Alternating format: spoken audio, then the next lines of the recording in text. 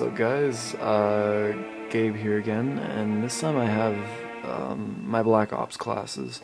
So, um, if you saw my previous videos, um, I have a Modern Warfare 2 class video, uh, you can check that out.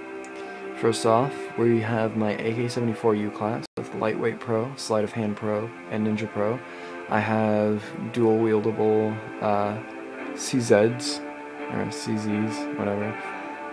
And yeah. Next, we have my M16. I usually use this in Search and Destroy. This is actually a class my friend gave to me, or recommended to me when I came over to his house. Uh, it's Ghost, Warlord, and Ninja. Uh, with Semtex and concussions. I do not use equipment in this game, or I haven't. I haven't bought any, anyways. Uh, same thing really here, except for it's for the AK-47. It's the Ghost, Sleight of Hand Pro, and Ninja Pro. Right over here we have my FAMAS class. And with the Tomahawk this time, Scavenger, Sleight of Hand, and Ninja Pro. And last but not least, my again probably one of my favorite classes is my Lightweight Pro, Scout, and Ninja Pro L96A1 sniping class.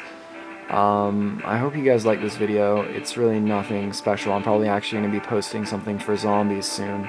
Oh, and here's my emblem right now. Yeah. Anyways, so uh, thanks for watching, and I hope you like this video, and I'm probably going to be posting a zombies video soon. Um, I'm going to try and get to pretty high, high up in solo. So, thanks.